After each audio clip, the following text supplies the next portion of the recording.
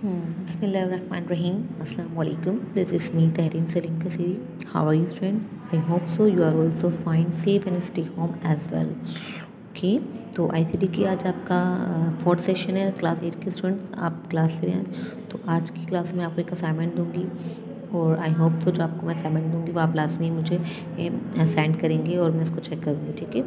तो तो असाइनमेंट में ये करना है कि आपने क्या करना है? कंप्यूटर पेपर लेना है अपना, ठीक है? कंप्यूटर पेपर इस तरीके से लेने के बाद आपने यहाँ पे क्वेश्चन लिखना draw flow chart from home to nearest hospital ठीक है? आपके घर के करीब कोई भी अगर हॉस्पिटल है, करीब ठीक तो आपने उसका फ़्लो चार्ट बनाना है। लेकिन सबसे पहले आपने ये करना है कि फ़्लो चार्ट बनाने से पहले आपने ये बताना है कि इसका अलगोरिदम बताना है, ठीक है? अलगोरिदम कैसे बताएँगे अब आप? आप बता रही हूँ आपको। अलगोरिदम ठीक है? अलगोरिदम में क्या होता है कि आपने स्टेप बाय स्टेप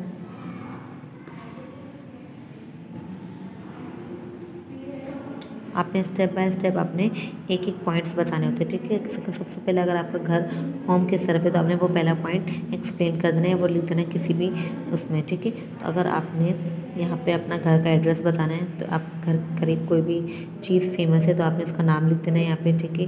या फिर, या कोई भी आप बता सकते हैं कि इस चीज़ से आपका घर फ़ेमस है, ये स्ट्रीट है, या ये शॉप है, या फिर कोई भी मतलब हिंट हो तो आप इजीली यहाँ पे लिख सकते हैं, ठीक है? तो आपने वन बाय वन आपने एक एक पॉइंट को एक्सप्लेन करना है, ठीक है? एक एक पॉइंट कर, जितने भी पॉइंट्स बनते जा रहे हैं, वहाँ पे आपने राइट करने के जो जो करीब आपके घर से लेके हॉस्पिटल तक आ रही है, ठीक है?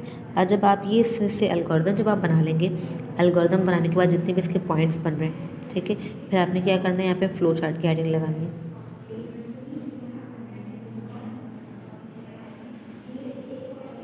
ठीक है? फ्लो चार्ट की हेडिंग लगाने के बाद आपने फ़र्स्ट सैंपल यूज़ करना है, ये वाला, सही? इस सैंपल में आपने क्या कर देना है? स्टार्ट लिख देना है। ठीक है? स्टार्ट लिखने के बाद आपने एरो की यूज़ करनी है। ठीक है? एरो की यूज़ करने के बाद फिर आपने क्या करना है? एक पैरेललोग्राम बनाना है। ठीक है? पैरलोग्राम बनाने के बाद आपने यहाँ पे ये बताना है कि जो आपका फ़र्स्ट पॉइंट है, वो यहाँ पे आपने इंसर्ट कर देना है। ठीक है? First point point number point number one, ठीक है? वन। ठीक है, अब इस तरीके बाद सेकंड आपने क्या करना है कि ये इनपुट का ऑप्शन है आपने। सही। अब इसके बाद जितने भी आपके पॉइंट आएँगे, वो आपके किसमें आ जाएँगे? रेक्टेंगल की शेप में आ जाएगी, क्योंकि अब आप प्रोसेस करना स्टार्ट कर दोगे, ठीक है? जितने भी पॉइंट्स आते जाएँगे, वो आपने इसको एंड रेक्टेंगल में लेके जाना है। सही। अब जो लास्ट पॉइंट होगा, वो आपका, आपने उसको अगेन पैरोग्राम में करना है, क्योंकि अब उसका आउटपुट दे देना है। सही। आउटपुट में क्या होगा कि आप हॉस्पिटल पहुँच गए। सही, ये आपका लास्ट पॉइंट होगा। सही। अब लास्ट पॉइंट होने के बाद जितने भी अच्छा ये मैंने सिर्फ़ दो बनाए, लेकिन आप देख लीजिए कि आपके घर के लिहाज से आपका जो हॉस्पिटल है, कितने और उसके कितने पॉइंट्स बन रहे हैं। तो उस लिहाज से आपने ये रेक्टेंगल बनाना है। ठीक है? प्रोसेस वाला सैंपल अच्छा ये कंप्लीट करने के बाद लास्ट आपने पैरलोग्राम बना लिया। पैरलोग्राम का आपका लास्ट पॉइंट आ जाएगा, जहाँ पे आप एग्जैक्ट हॉस्पिटल पहुँच चुके हैं, ठीक है?